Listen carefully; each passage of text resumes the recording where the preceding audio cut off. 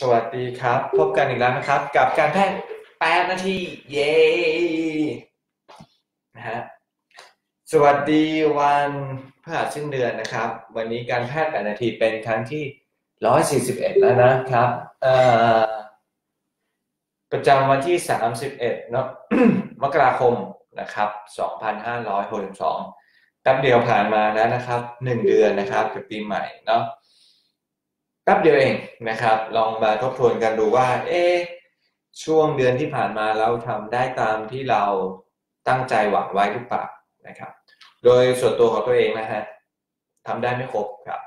ไม่ได้ออกกำลังกายเท่าที่ควร เท่าที่ตั้งใจไว้นะครับ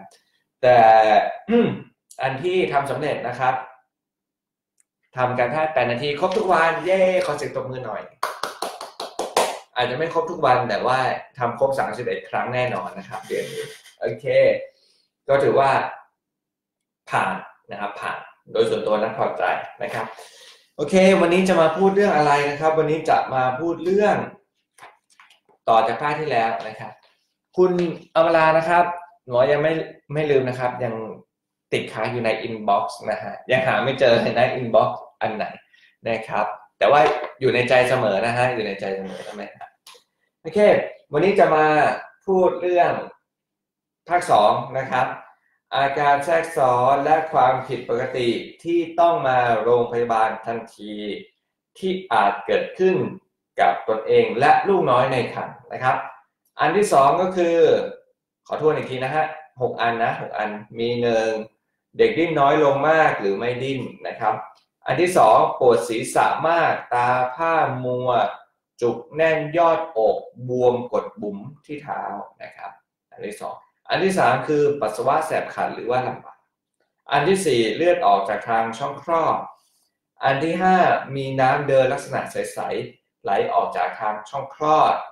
และอันที่หกเจ็บที่หลังแล้วปวดร้าวมาถึงด้านหน้าบริเวณหัวหนาวและท้องน้อย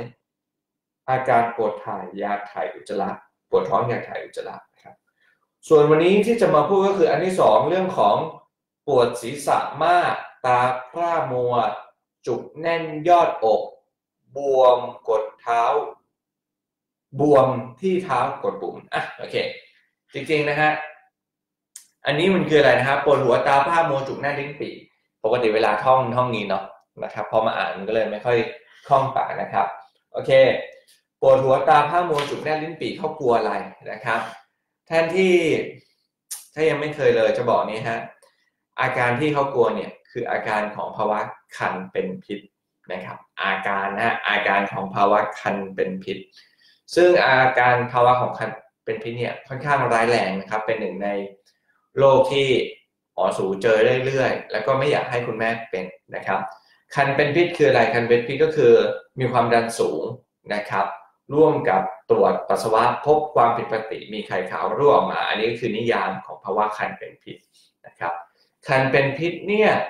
ปกติแล้วหมอจะวัดความดันนะครับ วัดความดันเอาความดันมากกว่า 140 90 นะครับ ร่วมกับปัจจุมปัสสาวะพบโปรตีนนะครับ2บวก อันนี้คือการวินิจฉัยนะครับ แต่บังเอิญในการวินิจฉัยอย่างที่พูดไปเมื่อกี้นี้เนี่ย มันไม่ใช่อาการที่คุณแม่ตรวจรู้นะครับและคุณแม่บางคนบ้านไม่ได้มีเครื่องวัดความดันเนาะนะครับบางบ้านก็ยิ่งหาที่ตรวจฉี่นี่ยิ่งยากเลย เพราะนั้นเขาเลยพูดถึงอาการนี่แหละ ว่าอาการอะไรบ้างที่บ่งบอกว่าสงสัยเป็นภาวะคันเป็นพิษนะครับ เอาว่าสั้นๆนะปวดหัวตาผ้าโมจุกแน่นลิ้นปี่นะครับอ่าโอเคแล้วจะมาอธิบายว่าแต่ละอันมันคืออะไรปวดหัวปุ๊บ ลักษณะของปวดหัวจากคันเป็นพิษเนี่ยมันปวดได้หลาย ๆ แบบนะครับ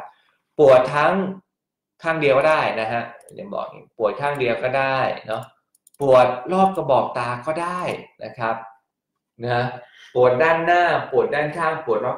หรือปวดทั้งหมดทั้งศีรษะก็ได้ ปวดได้หมดนะครับ ต่อมาคือลักษณะอาการปวดจะเป็นปวดตุ๊บๆก็ได้ หรือปวดเหมือนมีอะไรมาเสียแทงก็ได้ ไฟนี้นะ แปลว่าอะไร แปลว่าการปวดหัวจากคันเป็นพิษ เป็นได้หลายรูปแบบนะครับ ที่สำคัญที่สำคัญนะครับ พวกนี้กินยาไม่หายนะครับสำคัญนะครับกินยาไม่หายนะครับ อืมเพราะนั้นถ้ามีอาการเหล่านี้รีบไปโรงพยาบาลนะครับ อย่างไรก็ดีนะอย่างไรก็ดีเขาบอกว่า ถึงแม้จะกินยาหาย ก็ไม่ใช่หมายความว่าจะไม่เป็นคันเป็นพิษนะครับ นะ ดังนั้นอย่าชะล่าใจนะครับ ซึ่งอาการปวดหัวเกิดจากอะไรเขาบอกว่าสาเหตุการเกิดยังไม่รู้ได้ชัดนะครับ แต่อาจจะ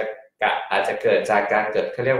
vaso vasodilatation ก็ได้นะครับก็จะปวดตุบตุบตุบตุบนะครับเป็นได้หลายอย่างเป็นได้หลายอย่างนะครับ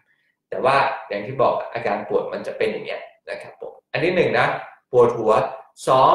ตาพร่ามัวนะครับ ตาพร่ามัวเป็นยังไงก็คือว่า พวกภาวะคันเป็นพิษเนี่ยมันจะทำให้เส้นเลือดที่อยู่ในตาเนี่ยเกิดการหดเกร็งนะครับหดเกร็งหดตัวนะครับ อาการก็คือหนึ่งตาพร่าเลยเนี่ยใช้เบลอวิชันนะตาพร่าพร่าหมองอันที่สองอาจจะเห็นแบบแสงแป๊บๆก็ได้อันนี้นะอันที่สองฮะตาพร่ามัวหรือเห็นแสงแป๊บๆบางทีอาจจะมองเห็นเหมือนแบบมีสีดำ ลอยไปลอยมาลอยไปลอยมาลอยไปลอยมานะครับผมบางคนตาบอดนะครับ บางคนตาบอด บอดข้างเดียวก็ได้ บอดสองข้างก็ได้นะครับ มองไม่เห็นเลยนะครับ ซึ่งส่วนใหญ่แล้วเป็นแล้วมักจะ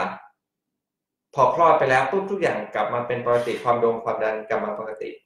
อาการตาบอดจะหายไปจะสามารถกลับมามองเห็นได้อีกครั้งนึง มีส่วนน้อยเท่านั้นที่ตาบอดถาวรมีส่วนน้อยนะครับหนึ่งนะปวดหัวนะครับบอกไปแล้วตาผ้ามัวไปแล้ว ตามัวเนี่ยก็มีหลายแบบเนาะทั้งมัวเห็นแสงเห็นแสงวิบวับวิบวับนะครับ มองไม่เห็นเลยก็ได้นะครับ เห็นจุดดำๆก็ได้นะครับ ส่วนอันสุดท้ายจุกแน่นนิ้นปีนะครับ ลักษณะของอาการจุกแน่นนิ้นปีเนี่ยแน่นตรงกลางก็ได้นะครับ ปวดล้าวไปที่ด้านขวาก็ได้ล้าวไปด้านหลังก็ได้นะครับ ลักษณะปวดจะอยู่แถวๆเกิดจากอะไรเกิดจากการที่มีชื่อว่ากริซันแคปซูลนะครับที่ตับเนี่ยมันเกิดอาการบวมนะครับมันก็เลยมีอาการปวดนะครับ บางรายบวมมากจนมีเลือดออก มักจะมีอาการปวดท้องร่วมกับความดันตกลงเฉียบพลัน แล้วก็มีภาวะช็อกได้นะครับ อืม อันนี้ก็เป็นต้นนะครับสรุปว่ามีสามอันนะครับปวดหัวตาผ้ามัวจุกแน่นลิ้นปีนะครับ อันนี้จำง่ายๆสั้นๆนะครับ อันนี้เป็นข้อที่สองส่วนอาการบวม อันนี้บอกยากนะครับ เดี๋ยวนี้ถ้าเอานิยามเรื่องของเท้าบวมเนี่ยออกไปแล้วจากการวินิจฉัยนะครับ เพราะว่าส่วนใหญ่คนท้องเนี่ยบวมบวมอยู่แล้วนะครับ อันนี้ก็คือความยากในการแยกโรคเนาะโอเคโอ้แปดนาทีพอดีนะครับ มีดูซิว่าใครมีสวัสดีมาบ้างโอเค โอ้มีคนช่วยตบมือเยอะนะครับ เราทำครบทุกวันนะครับ เย่ขออนุญาตตบมืออีกทีนะครับผมมีคนท้องมาเข้าฟังด้วยนะครับ ปอนปอนปอน สวัสดีค่ะ สวัสดีมีคุณอมรายอยากได้สมุดสีชมพู มีแจกนะครับ ทุกโรงพยาบาลร้านเนี่ยมีแจกนะ คุณฮานาฟีสวัสดีครับ อธิชาสวัสดีครับ คุณกุ้ง สวัสดีคุณสิริพันธ์สวัสดีครับผมโอเค ก็ขอบคุณทุกท่านที่อยู่ด้วยกันวันนี้นะครับ ผมการแพทย์แต่นาทีครั้งสุดท้าย ของเดือนนี้ โอเคนะครับผมให้พูดเรื่องความพร้อมก่อนตั้งครรภ์ได้ครับได้เดี๋ยวพูดให้นะครับผมก็เดือนหน้าเราก็จะทำกันต่อนะครับลุยเต็มที่นะครับเราการแพทย์แปดนาที สั้นง่ายได้ประโยชน์ผมนายแพทย์โอลาลิงมุสิกวงสวัสดีครับสวัสดีครับ